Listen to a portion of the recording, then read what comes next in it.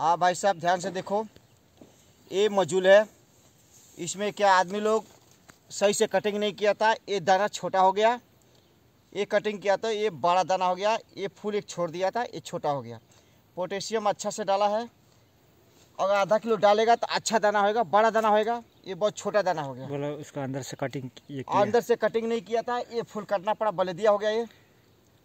अच्छा से कटिंग करना चाहिए। ये बहुत बड़ा दाना हो रहा है अभी। ये मजूल है। पोटेशियम डालना चाहिए अच्छा से डालना चाहिए। आधा किलो डालना चाहिए एक बफलर के पास। तो अच्छा से वो इसको तंदुरुस्त मिलेगा अच्छा से खजूर होएगा अच्छा से पकेगा। ध्यान से देखो। उसके बाद से पानी वानी चलेगा, पानी वानी चलेगा, पोटेशियम पूरा फैलेगा, इससे दवा अच्छा से होएगा। खजूर बड़ा बड़ा होएगा अच्छा से पकेगा। भाई साहब, ज़रा ध्यान रखो। काम वाम करो अच्छा से करो। बुद्धि लोग बहुत गिरी करता है। देखिए दाना कितना बड़ा है। देखिए भाई साहब इसमें देखिए और इसमें देखिए कितना ज़मीन आसमान का फ़र्क है।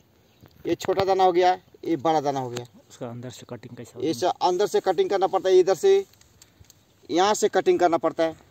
यहाँ से कटिंग करना पड़ता है उसके बाद से चालीस सिमरन रखना पड़ता है बारह दाना रखना पड़ता है चालीस ए वाला गिनू रखना पड़ता है सिमरन। और बारह दाना गिन के कटिंग करना पड़ता है उसके बाद दाना अच्छा होता है। तो लाइक करिए कमेंट करिए।